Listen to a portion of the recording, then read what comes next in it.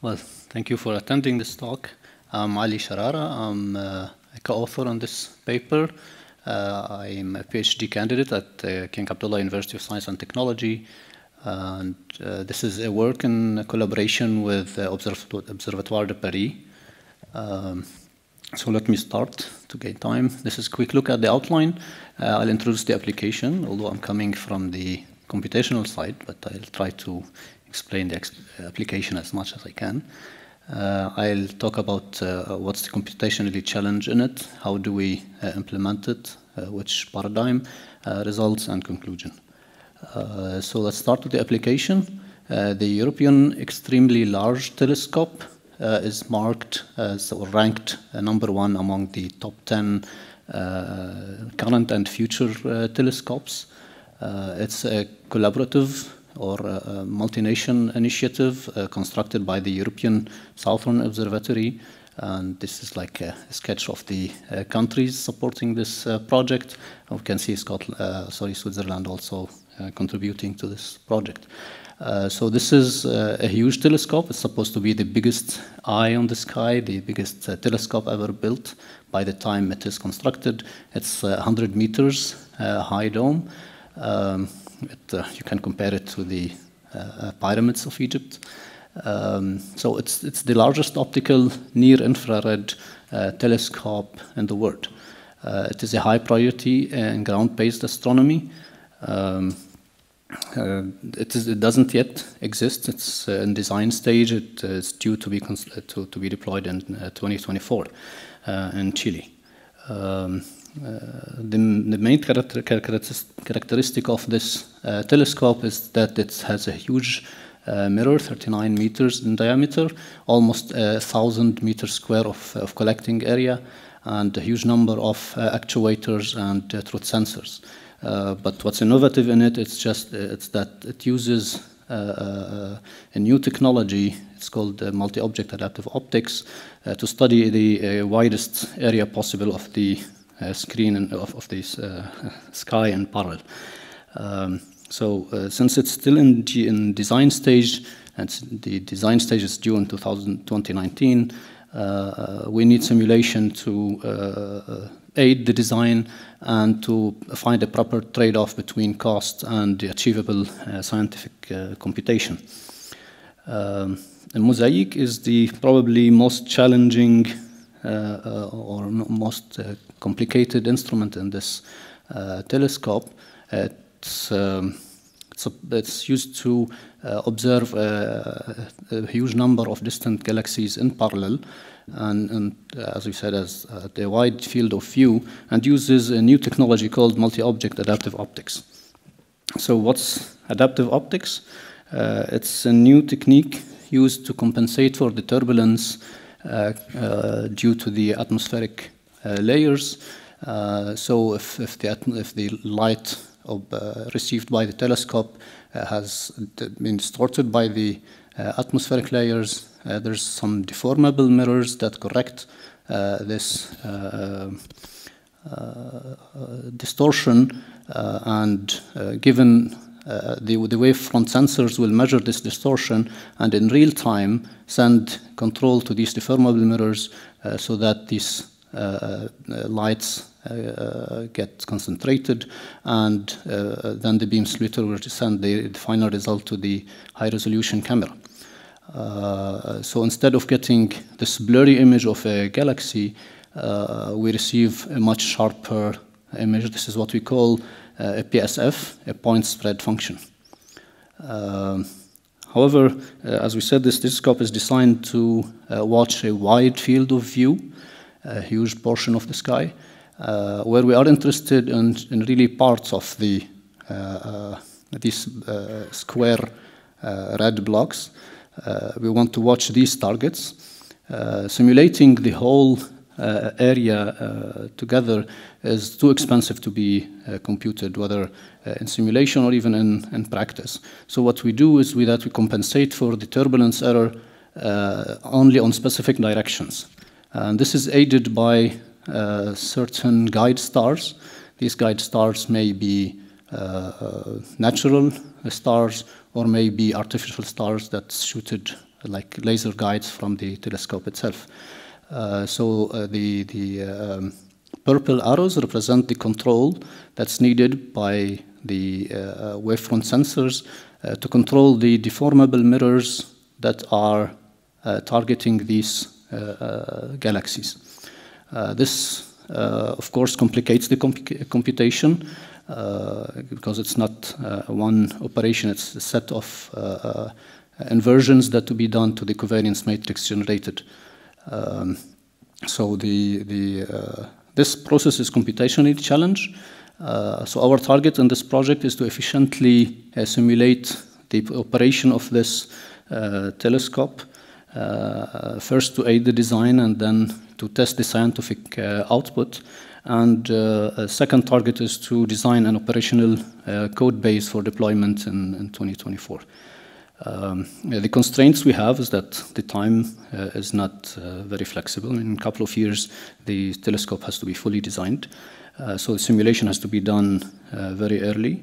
and at the operational budget, there's constrained power since this is going to be installed in a desert, so you you want to watch for your power consumption. So the classical approaches uh, used in the adaptive optics community to simulate this, uh, these operations is uh, based on Monte Carlo, uh, which uh, gives a, quite a good output. However, it's very slow.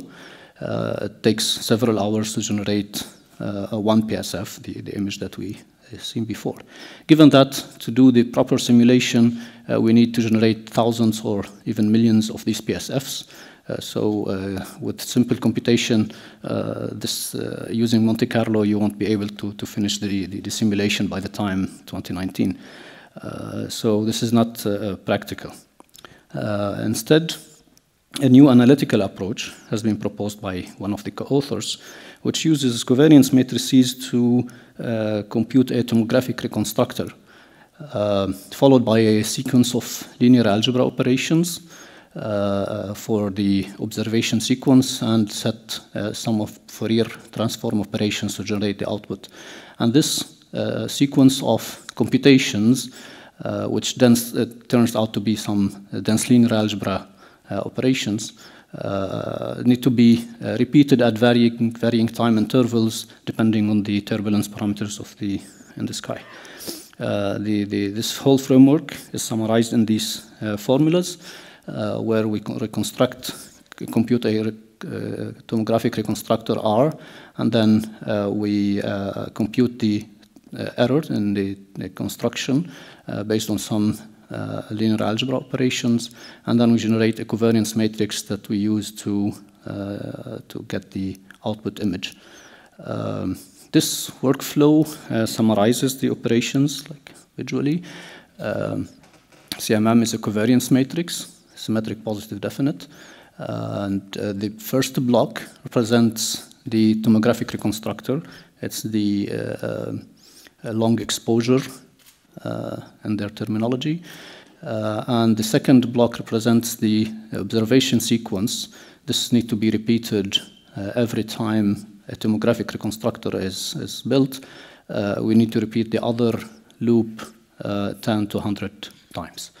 Um, in a previous work, we simulated only to the tomographic reconstructor uh, on a single node uh, using a, a task-based programming model, and we proved that it's very efficient. Uh, I'm sorry you cannot see the numbers, but this is like 13 times speed up against the previous uh, attempt.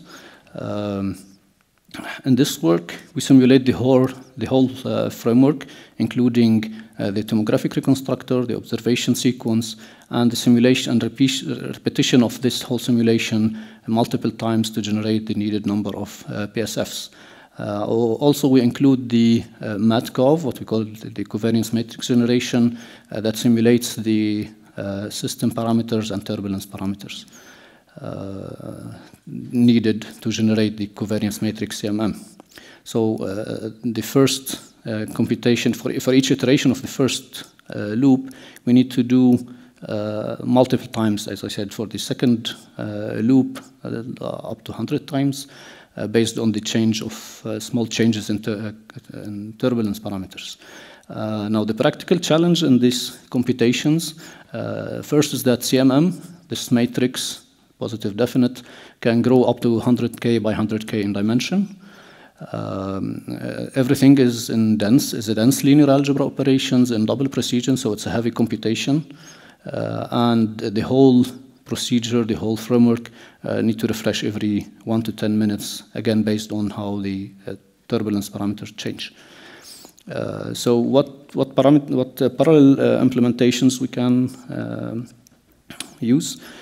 this is the classical approach, the blocked algorithm that uses the fork join paradigm, block, bulk synchronous parallelism. And here in this image, I'm showing or sketching the uh, factorization of a matrix where it uses factorizes a panel and then uh, updates the trailing submatrix in multiple steps. Uh, so uh, in this paradigm, you, you fork threads to, to do the update in parallel, and then you join, and then you fork and you join, and so forth. Um, this is implemented in the traditional LAPACK and Magma libraries. Um, it, it, uses the parallelism, it's hidden from within the BLAS uh, operations. Uh, but uh, as you can see, this is too many uh, synchronizations, so this is uh, not so useful for us. Instead, we use the task-based programming model, and uh, fortunately, this uh, model has been mentioned yesterday, and it's, it's well known. It's mentioned in yesterday's plenary talk and in this, with the Swift team also. So I don't need to dwell much in it. basically, the idea is to taskify the application and uh, use a uh, runtime system to schedule uh, the generated tasks across the available hardware. you have modes of scheduling, static or dynamic, or um, more smart algorithms. Um, now, uh, there's so many success stories for, for this uh, task-based uh, programming model. Um, there are libraries that support it, Plasma, Magma, uh, Flame. Uh, there are so many applications using it. Uh, the basic, one basic need for this uh, task-based programming model is a change in data layout. So instead of having a column major of the uh, LAPACK, uh, we convert the data into a tile format where each tile is contiguous in memory. And this is helpful for data locality and uh, data transfer. Now, Plasma is a library that uh, supports uh, um, most of uh, linear algebra uh, algorithms. It breaks the bulk synchronous programming model and brings the parallelism the to the fore, and, and, in the sense that it uses one-threaded MKL or BLAS library most of the time, and runs the tasks in parallel across the available cores. It uses the tile data layout, uh, obviously, and removes uh, any unnecessary synchronizations between the panel uh, and update. Uh, it generates a DAG, a uh, directed acyclic graph for the execution where the uh, nodes represent tasks and edges, edges define dependencies between them, as, as, this simple sketch shows.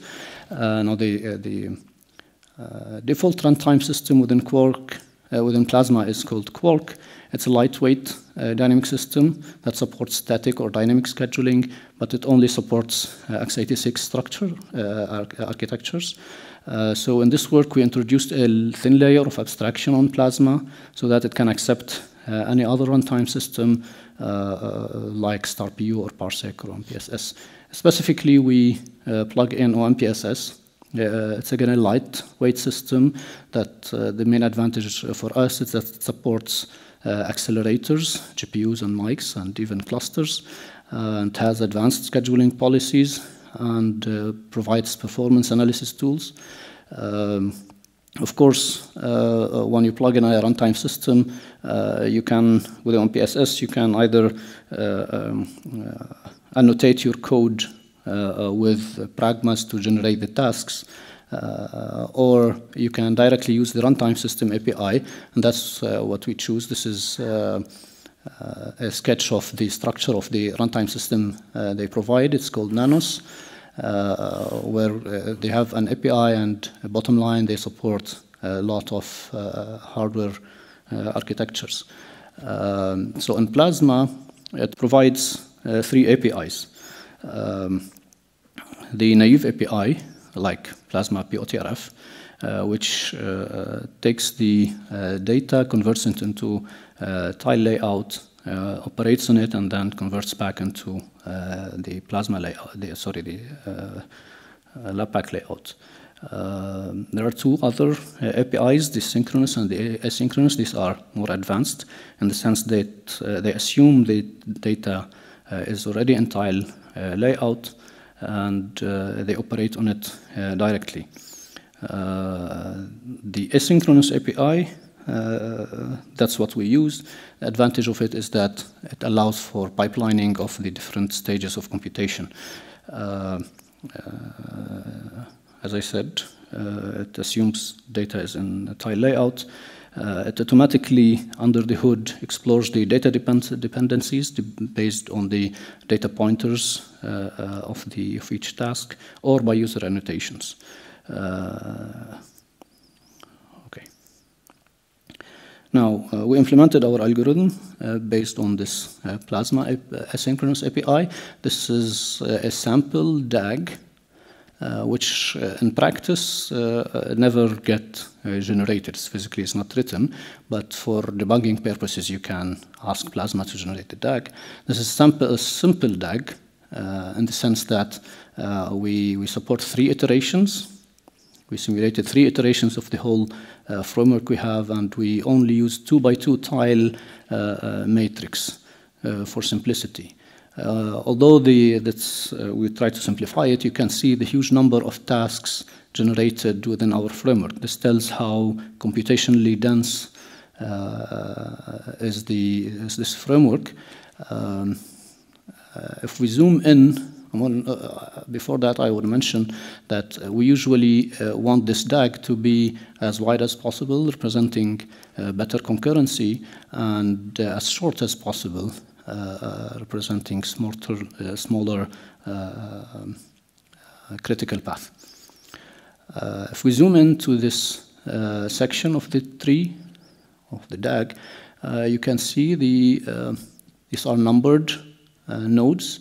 Uh, nodes numbered one means it comes from the first iteration, node number two uh, comes from the second iteration, node number three comes in third iteration. Uh, what I want to illustrate is that uh, with the pipelining possibility of, uh, of LAPACK, uh, you get the third iteration of the framework uh, tasks to start while the first is still executing. So gaining as much as possible or, or, populating as much as possible the cores of the hardware to, to work in, in parallel. Um, so let's go for some performance results. How much time do I? Okay, that's good. Uh, so we tested uh, our implementation on two systems. System A, which is uh, on a Haswell 32-core uh, CPU uh, with 128 gigabyte RAM, and another system B, which use Sandy Bridge 16 cores, but equipped with eight NVIDIA GPU K40, Kepler K40 GPUs. Um, the software stack is Plasma OmpSs and, and uh, MKL for the BLAS. Uh, in this plot, I'm showing the performance in gigaflops uh, on system A, which is Haswell operating uh, Haswell uh, hardware. Uh, the total number of measurements represents the matrix size, and vertically is the gigaflops, so it's the higher is the better. The, this straight line plot shows the theoretical peak of the uh, machine, and the uh, black and dotted uh, show the synchronous and the asynchronous modes of the computation. Um, you can see that for this case, the synchronous and asynchronous, they, there's not, not much of a gain for uh, the async, basically because all the cores are, uh, are populated most of the time. however, for the other system, it, the story is different. Uh, this is in time. We show it in time because time is, our, is also a target for us. Uh, at 30,000 by 30,000 matrix, where we need 20 uh, or 2,000 seconds to generate uh, to, to, run five iterations of the whole framework uh, and 100 iterations of, of the uh, inner loop each time. Um, was it 10 iterations, I think. Uh, this is the uh, performance on the second system, uh, which has eight GPUs. I'm showing also performance in teraflops horizontally is the matrix size. So the green is using one GPU and 16 cores uh, Sandy Bridge. Uh, again, the synchronous and asynchronous are, are much uh, are not are very similar. However, when you increase uh, the number of GPUs, this is for two GPUs, four GPUs, black is eight GPUs. You can see the gap between the synchronous, which is the dotted, and the asynchronous, is starting to uh, increase. This points out to the uh, advantage of the asynchronous mode of computation, where the stages get pip pipelined and uh, better uh, uh, utilization of the uh, eight GPU hardware available. the pink one is the DGEMM peak. We compare with it because it's more practical or, or more closer bound for our operation. Um, this is in time. Uh, again, the 8 GPU system uh, has a good gain in performance. Um, and this, we compare the speed up of increasing the number, that's the scalability, I think, uh, of increasing number of GPUs. Uh, so uh, against, against using one GPU in the black, two GPUs, four and eight, and uh, we gain good speed up. Uh, um, although we hope for, for better, uh, with the 8 GPU, we expect more, and but basically uh, there's a limitation of the data transfer across the 8 GPUs. Uh, also, the scheduling policy of the of the runtime system may need more tuning. Um, in this, I compare the gain of using the GPU system versus the CPU system. So the CPU is using 32 Haswell cores, uh, and the GPU is using 16 Haswell, uh, 16 Sandy Bridge cores, but with 8 GPUs. And you can see that we score uh, up to 5x speed up uh, uh, between the two systems. Now, why is this important for us? Because the uh, computational astronomy and adaptive commu optics community are not yet exposed well to the GPU hardware. Uh, so uh, this is like a good argument for them to use it, especially for power uh, uh saving on the on the uh, telescope. Uh, I'm almost done. for this is tracing is to illustrate um, the efficiency of using the asynchronous mode. So the first one is the synchronous mode computation, taking 480 seconds. Uh, you can see these vertical lines. Uh, each line is a set of tasks executed within the inner loop, the observing sequence. Uh, and they are, they are in lines because there's a synchronization between each iteration and the other.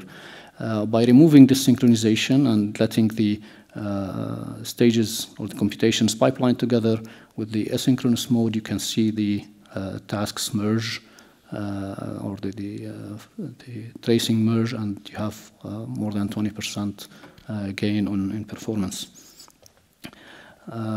So I will conclude.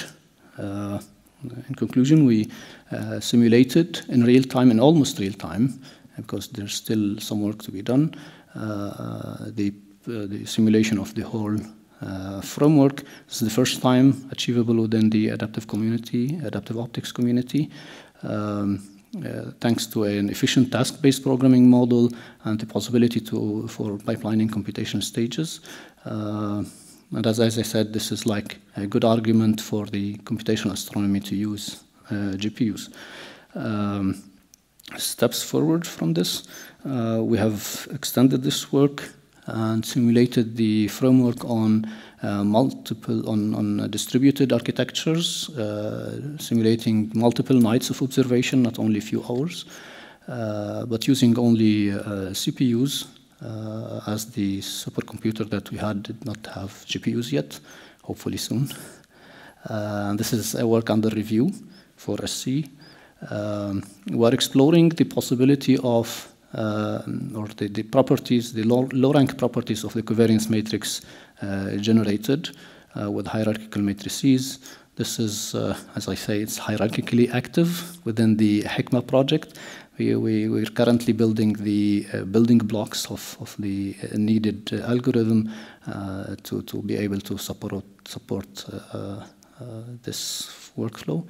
Um, we may need to optimize uh, the scheduling policy in OMPSS for better data locality, and uh, we need we want to study the power constraints uh, of, of the framework, especially uh, for deployment, uh, and prove the, the advantage of, of the GPU versus using only CPU.